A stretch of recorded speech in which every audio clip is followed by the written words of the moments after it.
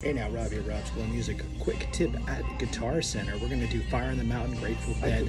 We need one shape and we move it in two positions. A major bar chord shape starting on the 7th fret, that's a B major. I slide it down to the 5th fret, A major. It's a whole song.